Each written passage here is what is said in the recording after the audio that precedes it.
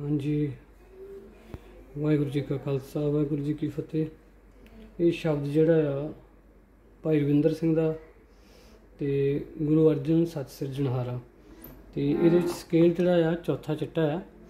ਤੇ ਇਹਦੇ ਵਿੱਚ ਸੁਰ ਜਿਹੜੇ ਆ, ਲੱਗਦੇ ਆ। ਸਾਰੇ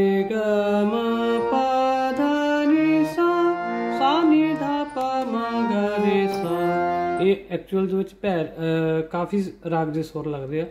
ਤੇ ਸਾ ਸਾ ਰੇ ਰੇ ਗ ਗ ਮ ਮ ਪ ਧ ਨੀ ਸਾ ਸਾ ਨੀ ਧ ਪ ਮ ਗ ਰੇ ਸਾ। ਠੀਕ ਹੈ ਜੀ ਚੌਥੇ ਚਿੱਟੇ ਤੋਂ। ਤੇ ਇਹ ਕਾਫੀ ਰਾਗ ਸਾਨੂੰ ਆਉਣਾ ਜ਼ਰੂਰੀ ਆ। ਮਤਲਬ ਹੁਣ ਸਭ ਤੋਂ ਵੱਡੀ ਗੱਲ ਇਹੀ ਆ ਕਿ ਪਹਿਲਾਂ ਤਾਂ ਰਾਗ ਦਾ ਜਿਹੜਾ ਸਰੂਪ ਆ ਉਹ ਸਾਡੇ ਦਿਮਾਗ ਦੇ ਵਿੱਚ ਹੋਵੇ, ਤਾਂ ਸਾਨੂੰ ਐਕਚੁਅਲ ਜਿਹੜੀ ਆ ਰੀਤ ਦਾ ਰਾਗ ਪਤਾ ਲੱਗਣਾ। ਫਿਰ ਅਸੀਂ ਉਹਦੇ ਵਿੱਚ ਚੱਲ ਸਕਦੇ ਹਾਂ ਨਾ। ਪੀਸ ਵਰਕ ਵਗੈਰਾ ਕਰ ਸਕਦੇ ਹਾਂ ਦੇਖੋ। ਗੁਰੂ ਅਰਜਨ ਆ ਪੀਸ ਚੱਲਦਾ। ਗੁ ਹਮ, ਗੁਰੂ ਅਰਜਨ ਗੁਰੂ ਅਰਜਨ ਗੁਰੂ ਅਰਜਨ ਗੁਰੂ ਅਰਜਨ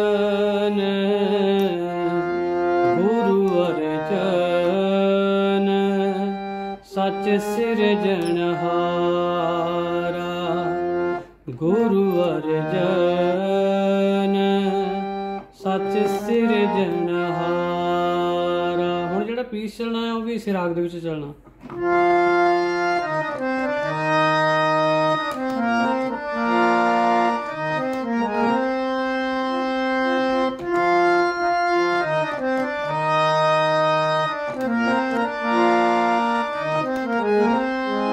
ਥੋੜਾ ਥੋੜਾ ਮੈਂ ਮਿਲਦਾ ਜੁਲਦਾ ਚ ਪੀਸ ਵਜਾ ਰਿਹਾ। ਐਕਚੁਅਲ ਦੇ ਵਿੱਚ ਹੋ ਸਕਦਾ ਮੇਰੇ ਤੋਂ ਨਾ ਨਿਕਲਿਆ ਹੋਵੇ, ਪਰ ਮੈਂ ਤੁਹਾਨੂੰ ਸਮਝਾਉਣ ਲਈ ਦੱਸਦਾ ਪਿਆ ਕਿ ਪੀਸ ਐਜ਼ ਇਟ ਸੇਮ ਰਾਗ ਦੇ ਵਿੱਚ ਚੱਲਦਾ ਹੈ, ਹਨਾ? ਦੇਖੋ ਦੁਬਾਰਾ।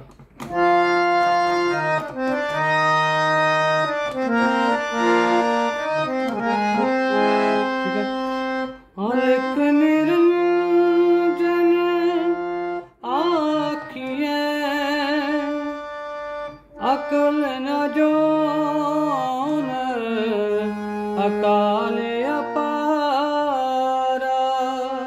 ਦੁਬਾਰਾ ਦੇਖੋ। ਆਲਕ ਨਿਰੰਜਨ ਆਖੀਏ ਅਕਲ ਅਜੋਨ। ਅਕਾਲ ਅਪਾਰਾ। ਹੁਣ ਇਹਦੇ ਵਿੱਚ ਅੱਧੀ ਪੰਕਤੀ ਲੈ ਲੈਣੀ।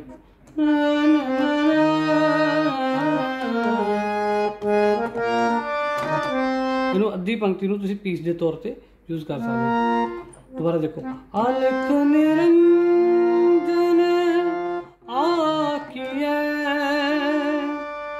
ਅਕਲ ਅਜੋਨ, ਅਕਾਲ ਅਪਾਰਾ।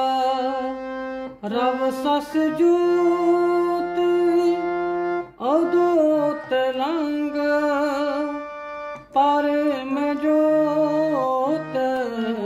ਪਰਮੇਸ਼ਰ ਪਿਆਰਾ ਰਵ ਸਸ ਜੂਤ ਉਦੋ ਲੰਗ ਪਰਮ ਜੋਤ ਪਰਮੇਸ਼ਰ ਪਿਆਰਾ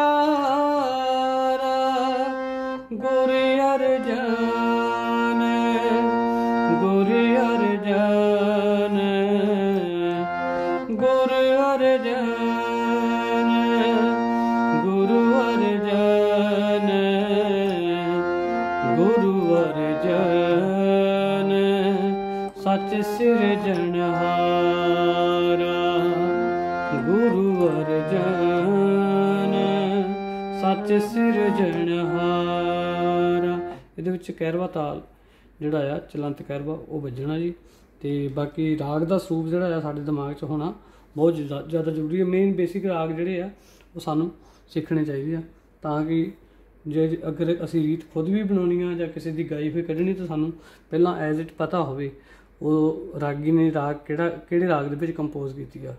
ਕਈ ਵਾਰ ਇਦਾਂ ਵੀ ਹੁੰਦਾ ਹੈ ਕਿ ਪਾਰਟਿਕੂਲਰ ਕਿਸੇ ਇੱਕ ਰਾਗ ਦੇ ਵਿੱਚ ਕੰਪੋਜੀਸ਼ਨ ਨਹੀਂ ਹੁੰਦੀ ਥੋੜਾ ਬਹੁਤਾ ਮਿਕਸ ਕੀਤਾ ਹੁੰਦਾ, ਪਰ ਫਿਰ ਵੀ ਬੰਦਾ ਜੇ ਰਾਗ ਵਗੈਰਾ ਕੀਤੇ ਹੋਣ ਤਾਂ ਬੰਦੇ ਨੂੰ ਸਮਝ ਆ ਜਾਂਦੀ ਕਿ ਹਾਂ, ਇਹ ਪਾਰਟਿਕੂਲਰ ਕਿਸੇ ਇੱਕ ਰਾਗ ਦੇ ਵਿੱਚ ਨਹੀਂ ਹੈਗਾ, ਬਹੁਤ ਸਾਰੇ ਰਾਗ ਮਿਕਸ ਕੀਤੇ ਗਏ ਆ।